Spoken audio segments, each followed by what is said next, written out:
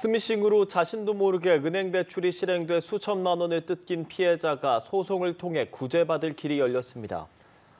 서울중앙지법은 스미싱 피해자 A씨가 은행 등을 상대로 낸 6천여만 원 규모의 채무 부존재 확인 소송에서 원고 승소 판결했습니다.